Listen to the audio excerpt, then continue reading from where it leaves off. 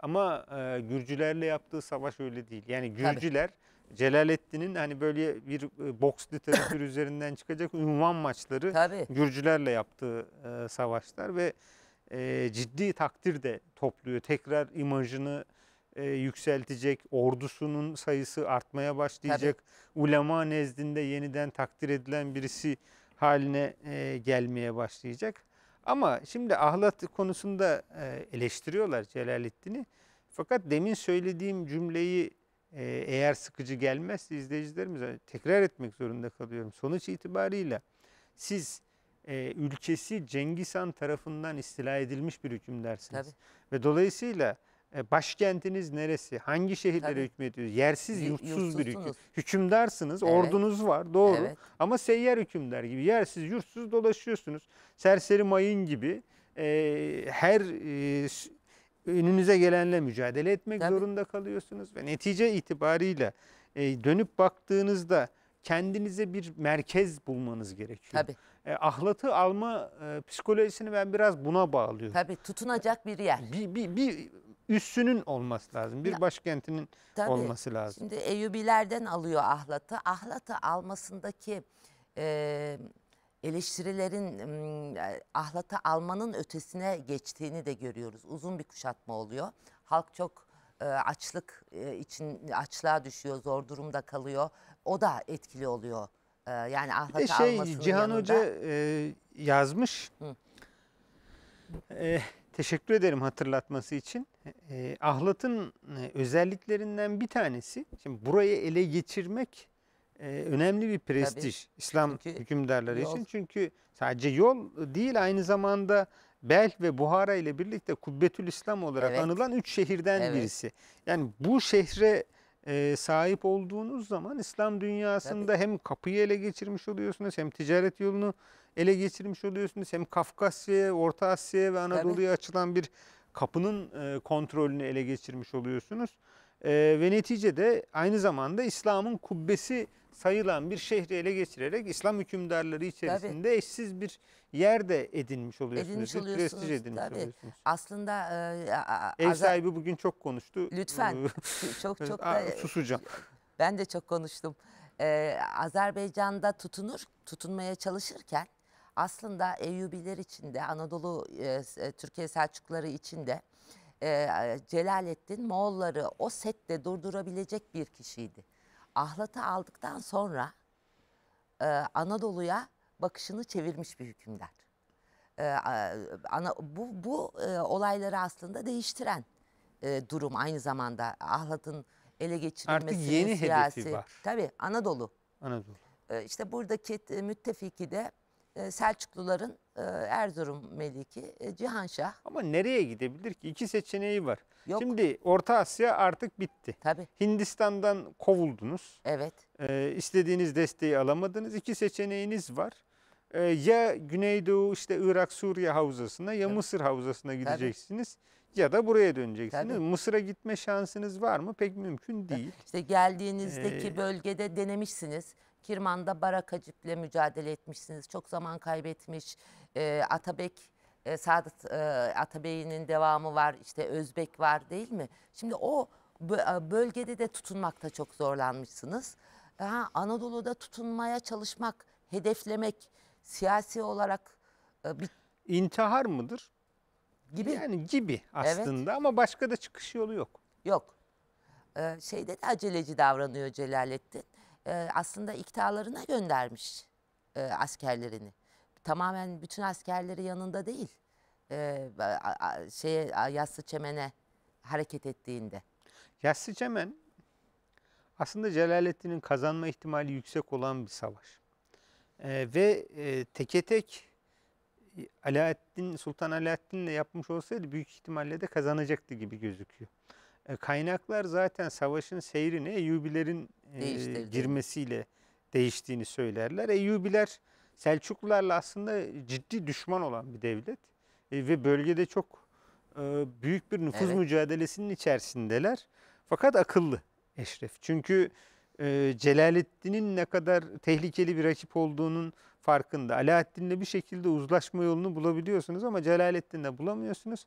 O sebeple düşmanımın düşmanı benim e, e, ya o Dostumdur. E, meselesinin e, biraz farklı işlediğini burada görüyoruz. E, e, diğer atasözüne dönüyor. Eski dost düşman olmaza Dö- dönüyor. dönüyor. Yani ister istemez. Çünkü ortak güçlü bir düşmana karşı birleşecekler. Sonra tekrar araları bozulacak zaten. Evet. evet. Celalettin'den sonra Eyyubilerle e, Selçuklular mücadele Savaşta- içerisine girecekler. Savaşın başında da e, aslında ilk gün yapılan savaşta Selçuklu ordusunun öncülerini yeniyor. Onu onu onu Tabii. kastettim zaten. E, Yani Eyyubiler Eyyubiler ondan, sonra, geliyor, evet. girecekler. Ben de hani takviye olsun diye. e, hatta Celalettin e, ağırlıklarını bırakıp kaçmaya başladığında e, ilk başta Selçuklu ordusu takip etmiyor. Bunun bir taktik olduğunu düşünüyor. E, ama taktik değil. E, No, yani savaş e, usulüne aykırı bir durum ama Evet. normalde takip etmesi lazım. Onlar da biraz e, sanırım çekinmişler. belki ya da gerçekten Celalettin'in taktik e, yapıyor olabileceğini düşündüler. Onun kaçtığını düşünmüş de Onun kaçtığını. O kaçış zaten e, sürüyor. Önce Ahlat'a geliyor. Oradan e, devam ediyor. Peki ölümünü e, anlatabilir misin? Sonra biraz da kültürüne, Kültürüne ya Geçeriz. da onunla ilgili onunla ilgili efsaneleri Tabii e, değinebiliriz. Moğollar onu takibi e, hiç bırakmıyorlar. E, Amit taraflarında e, bir gece baskın e, düzenliyor Moğol birlikleri. Aslında Moğol birliklerinin Nesevi'nin söylediklerine e, bakarsak Moğol birliklerinin yakınlarda olduğu haberini almış. Artık çok gidecek yeri de yok ve yakınında yanında da büyük sayıda asker de yok. Sabaha karşı e, çadırındayken Moğollar baskın yapıyor. Hemen yanındakiler ata bindirip onu gönderiyor. E, e, da- daha sonra da işte dağlarda e, oradaki Yerel, yerel halkın e, oradan kişiler e, yakalıyor. E, sultan olduğunu söylüyor. Tabii ki kıyafetinden e, bulunan e, teçhizatından anlaşılıyordu dur o. E, sultan olduğunu söyleyip kendisini bir rivayetin biri bu.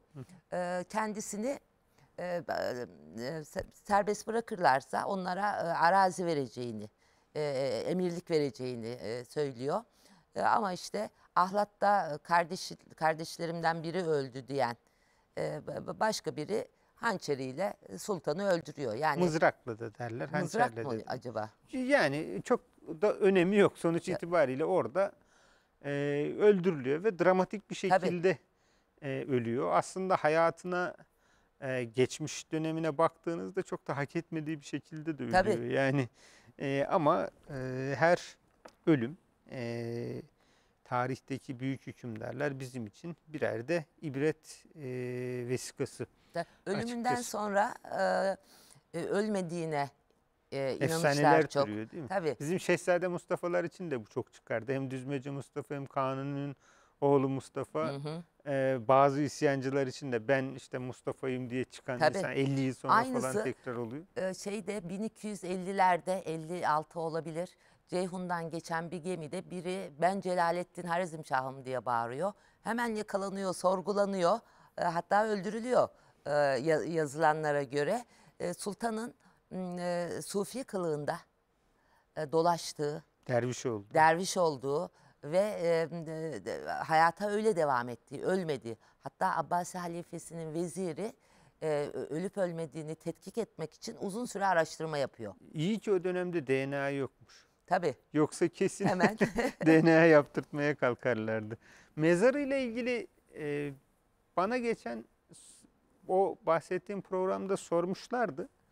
Somut bir şey olmadığı için şey diyemedim ama iki rivayet var aslında. Yani e, fakat ispatlan yani ispat demeyeyim de daha doğrusu zaten ispatlanması yüzde yüz mümkün değil. Çok farklı testler belki yapmak gerekir. E, ama e, kaynaklarca desteklenen bir kısım yok. Ama güzel efsane üremiş. Mesela Hozat'ta Tunceli'de Hı hı. e, Sultan Baba Evet. var. E, işte Alevi erenlerinden Evet. birisi kabul ediliyor ama onun aynı zamanda Sultan Celaleddin olduğu ifade ediliyor. Şimdi Hozat daha yukarıda kalıyor. E, yaralı kaçtığını falan söylüyorlar. Dün akşam bir dostumla konuşmuştum biraz. E, bir de e, Silvan'da olduğunu Hı hı. e, iddia ediyorlar. Yani doğruysa Silvan akla biraz daha yatkın tabii c- öldüğü yer olarak ama bunda da bir netlik yok. Onu da e, söylemiş olalım. Yani varsa yeni Yok bilgiler, veriler onu bu ben de konuda bu- öğrenmek isterim. bir e, çalışmayı düşündüğümüz arkadaşlarımız var. Tahminlerimiz var ama herhalde bu daha sonra belki üstüne çalışıldıktan sonra konuşulacak konu. Sultanın bir kerametinden de bahsetmek lazım. Yada taşıyla yağmur yağdırmak. Ee, hocam ben çocukken Orta Anadolu'da yada taşıyla yağmur yağdırma vardı. Yani Hikmet Tanyu'nun kitapları var. Evet. Türklerde taş ve taşla Evet. ilgili inanışlar diye. Merak edenler yani Orta Asya'daki e, Türk kültürünün e, biraz şamanist Tabii, hatta Türk tabii. dev- kültürünün izlerini, inançlarının izlerini Anadolu'da İslami versiyon altında e, devam ettiğini merak edenler o kitabı okuyabilirler, Çok güzel kitaptır. Ee, iyi ki söylediniz.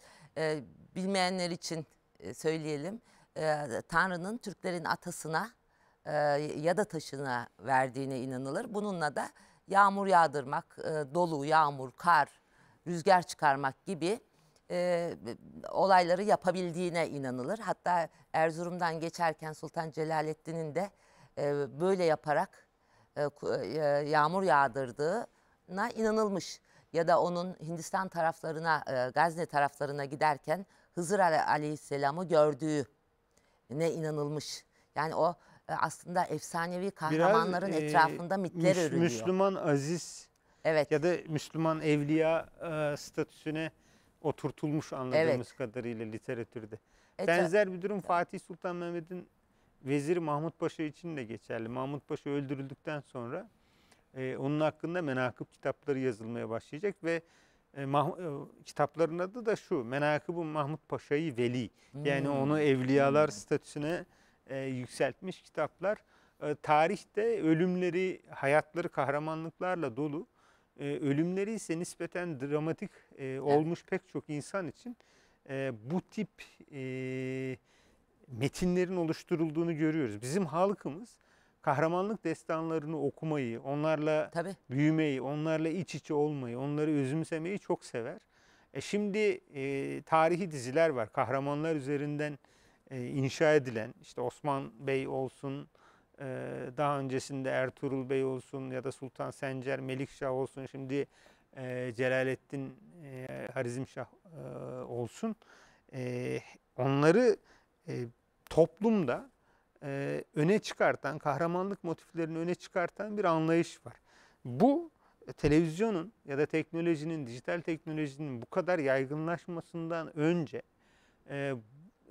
bu eksiği, e, bu hep vardı. Bu ihtiyaç hep vardı. E, bu eksiği genelde işte Battalname gibi, Ebu Tabii. Müslimname gibi, Saltıkname gibi, Tabii Hazreti Ali gibi. Cenkleri gibi, Danışmentname gibi Evet. metinler üzerinden inşa ediyordu toplum ve bu metinler bazen meclislerde e, okunuyordu. E, bazen de evlerde yüksek sesle okunuyordu. Şener Şen'in Züğürt Ağa filmini hatırlarsan onun girişinde Hazreti Ali Cenknamesi okutuyordu Tabii, tabii. torununa. Bu kültür yani kahramanlık motifleri üzerinden beslenme, e, kahramanlık motifleri üzerinden bir toplum inşa etme geleneği e, bu topraklarda hep var. Tabii. Fakat artık bu eserler e, eskisi kadar rağbet görmüyor. Keşke İzleniyor. görse. E şimdi bu daha görsel bir e, kültürün, e, görsel bir e, anlayışın ürünü olarak varlığını sürdürüyor gibi. E, kültür hayatından e, biraz bahsedelim isterseniz. Şimdi ilk e, aklıma gelen bu kadar savaşın içinde e, örneğin alimlere gene e, kıymet veriyor. E, Celalettin Ramazan'da e, kürsü kurdurup e, hem Tebriz'deki hem de Tebriz'e yakın bölgelerdeki e, e, alimleri davet ediyor ve onları kendisi dinliyor hocam. Yani onlara verdiği önemi de göstermek için. Şimdi bu kargaşa dönemlerinde bile bu faaliyetlerin devam ediyor olması e, e, hem müessesenin devam ettiğini göstermesi bakımından Ama ilim, ilim ve bir- irfan hem medeniyetin hem Evet. siyasetin tapusudur Evet. yani. e, hem e, sembolik anlamı olduğu gibi samimi olarak da e, dinleyip fikir e, beyan ettiği hatta Nesevi görüşünü katıldıklarını överken çok e, dikkatli dinliyormuş katılmadıklarına da çıkışırmış. E, böyle bir e, e, Cedel, şeyi var. celalliliğini orada da gösteriyor yani. Şimdi o, ben çok e, araştırma devamına bakmadım ama şimdi geldi aklıma. E, iyi Ermenice konuştuğunu da söylüyor. Yani bulunduğu bölgelerde. Farsça da konuşurdu diyor. Bu da onun çok iyi bir eğitim aldığını gösterir. Evet. E, çok iyi bir eğitim aldığını gösterir. Zaten e, Selçuklu'nun bir devamı olarak e, Sencer Devri'nin Harizm e, merkezi, ilim kültür merkezidir. Gürgenç, cazibe merkezidir zaten. E, onun döneminde tabii yani ilim kültür hayatıyla ilgili temel e, gene alimler e, yetişiyor. E, ş- genel olarak e, şeyimiz bu. Söyleyebileceklerimiz. Ya da sorulara mı bakalım daha mı bunları Ee, açalım? Şey e, sorulardan bir tanesi Harizmşah dönemine ait yani Harizmşah devleti dönemine ait e, maddi bir kültürün e, bugüne ulaşıp ulaşmadığı yönünde. Yani Gürgenç merkezli olarak gerçi bir Moğol istilası Tabii. faktörünü de göz önünde bulundurarak e, bana da sormuşlardı geçen. Pek hatırlamadım ya da bilmediğimi Evet. e, söyledim ama e, ben doktora ya- yaptığın için belki sen Tabii. daha detaylı görmüş bakmış olabilirsin. Tamam. Ayakta kalan bir yapı var, Var, mı? Neler Ee, ka- kalmış? Tabii çok, çok e, kalan bir şey yok. Biz bölgeyi Moğol istilasından kısa bir süre önce Yakut'un gezdiğini, Yakut el Hamevi'nin gezdiğini biliyoruz ve onun anlatısından e, görüyoruz. Ne kadar e, kütüphanelerle dolu, e, nasıl güzel köşkleri, sarayları olan e, bir e, e, şehirler olduğunu, Gürgenç olduğunu. Bugün e, işte e, Tikiş'in türbesi Türkmenistan'da e, ve Necmettin Kübra. E, Onların ama tabii onlar daha sonra çok ne kadarı ilk kalmıştı. Ben siyah beyaz çok eski fotoğraflarını gördüm. Tabii ben sanat tarihçi değilim. Hani e, yeniden e, onlar restore edilmiş, yapılmış. Kalanlar bunlar. E, bir tane sanıyorum e, yanlış da olmasın Almanya'da bir müzede Muhammed Harizm Şah'ın mührü yani İngiltere'de olabilir. O yüzden şu anda tam hatırlayamadım. Bizim görsellerimizde var. Bol sayıda sikke var hocam. Çok e, Harizmşahlar döneminden. Hatta e, Celaleddin'in sikkesinde süvari figürü vardır. O sikkede e, görülebilir. Günümüzde bunlardan ulaşanlar var. E, tabii Otrar şehri falan kazıldı. E, internetten oradan Sultan Alaaddin yazıyor değil bakılır. mi? Evet, Soldakinde evet. Sultan Alaaddin. Evet. Bunda Muhammed. Hı hı. Ee, Evet çok güzel.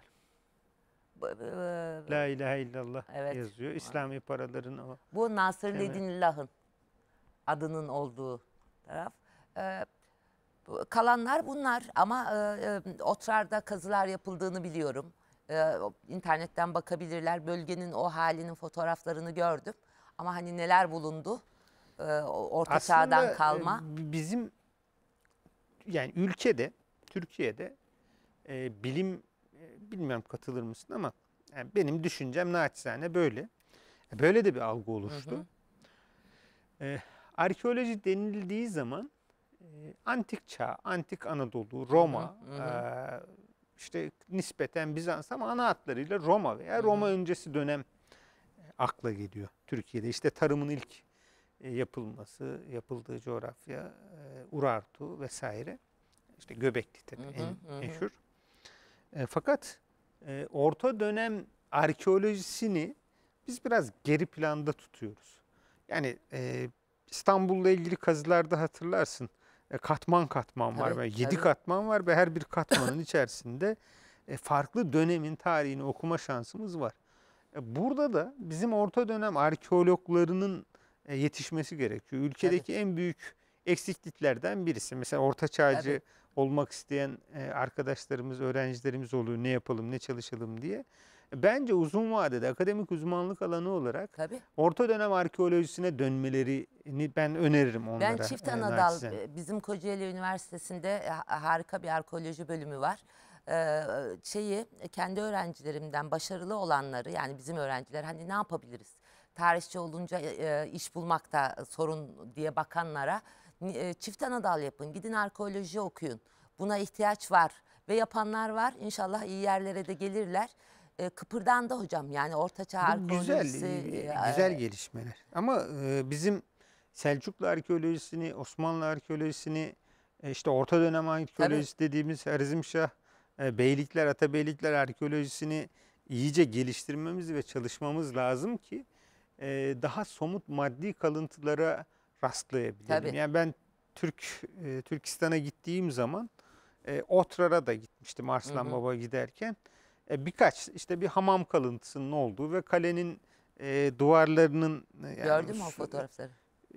Be- Benimkileri mi? Hayır. Seninki mi? Yani o kazılardaki o fotoğrafları Ha, ben gördüm. gittim oraya Tamam. işte. Ee, bir şey yok yani şehir yok. Ama e, işte e, şimdi Moğollar talan etti falan. Bu orada bitmiyor. Bunun altı var. Yani Evet. Sonuç itibariyle bu arkeolojik kazılar devam ettiği müddetçe, artırıldığı müddetçe çok daha somut e, verilere rastlayacağız. Beni her zaman şimdi geçenlerde bir fotoğraf görmüştüm. Heyecanlandırır. Yani kazmışlar 7-8 metre ve muazzam bir e, mozaik Tabii. çıkıyor. İnsanın böyle e, e, tarihçi olduğuna şükredesi geliyor. Ya da Tabii. tarihle ilgilendiğine şükredesi geliyor. Böyle e, hadiseleri gördüğümüz zaman. E, o sebeple her devlete ait illaki kalıntılar e, bulmak mümkün. E, çoğu ayakta kalmıyor. Yani Osmanlı dönemi en bildiğimiz en yakın dönem. Osmanlı dönemine dair bile her şey ayakta değil ki Tabii. sonuç itibariyle arkeolojik kazılarla e, bulabiliyoruz Tabii. e, pek çoğunu. O sebeple Ortaçağ arkeolojisi önemli e, bir alan. E, Harizmşahlarla ilgili de e, çok fazla işte gördüğümüz gibi bilgi e, yok. O, fakat e, arkeolojiyle bunun e, Tabii şeyi biliyoruz. artacağını tahmin ediyorum. Hani mimari e, özelliklerin Selçuklu'nun devamı olduğu sanat tarihinden yazan hocalarımız oluyor. Ya da o yüzyılların ama işte e, buluntular nedir? O yüzyıla ait İran coğrafyasında bulunanları e, belki o zamandır diye direkt Harizmşahların yaptığı ya da birebir onlara ait olanlar herhalde zamanla bunlar da ortaya e, çıkar diye düşünüyorum. E, ama artık Serdar'ın tarihçiler Serdar biraz Tabii. e, katkı sağlamış Serdar Gündoğdu.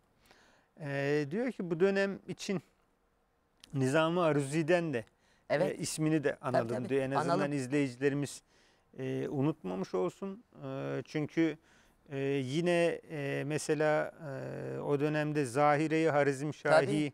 İşte Camil İlm gibi çalışmalar tabii tıp kitapları var, var. edebi çalışmalar Tabii. var. Ee, bunlardan biraz bahsedebiliriz. Ee, ve yine e, bir de e, Nişabur yakınlarında e, Harizmşah dönemine ait olduğu ifade edilen e, küçük bir medresenin varlığından da söz edebiliriz diyor. Teşekkür ediyorum. çok e, teşekkür ederim. katkıları Onu, için e, e, Serdar Bey'e. Ee, o yani fotoğrafı da varsa e, görmek de isterim. Ben bunu bilmiyorum. Ee, yazılanların dışında e, gördüklerim e, çok nadir e, eserlerden e, onu söyleyeyim. Harizm hükümdarlarının ilimle meşguliyetlerini biliyoruz.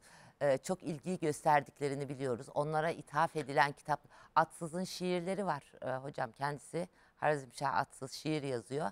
Hatta e, Osman Gazi Hoca onları e, çevirip makale yaptı e, internetten okuyabilirler. Yani tam Sencer döneminde e, şiirlerde e, neleri ifade ettiğini görebiliriz. E, bu- bunu biliyoruz. Biz ilim hayatını, işte yazı sanatını, nesir sanatını, şiirini, e, çok çok önemli bu dönemde. Bunların hepsini bilmiyorum ne kadar zamanımız var ama hükümdarların ilime önem verdiklerini bunu biliyoruz. Kimlerin yanlarına gelip gittiklerini biliyoruz. Hükümdarlara ithaf edilen kitapları biliyoruz. Bu, hatta bunlar derli toplu tek başına bir çalışma olabilir ya da e, Mimar Sinan'dan e, Gülseren Hanım e, çalıştı e, ilim hayatı. Onu da buradan e, söyleyelim Evet, evet. özellikle. E, onun e, Harizmşahların e, hatta şöyle söyleyelim. Kitabı yayınlandı mı onu? Ben kaçırdım. bunu. Ben tezini hep okuduğum için yayınlandıysa yakınza yayınlanmıştır. E, lütfen e, affetsin görmedim Yayınlanmadıysa yayınlanma. da yayınlasın. Yayınlasın. Çok Buradan ederim. e, ilmi hayatına o çalıştı. Şöyle aslında e, Türkiye'de Harizmşahlar e, çalışmalarının da e, İbrahim Kafesoğlu e, hocamız nefistir.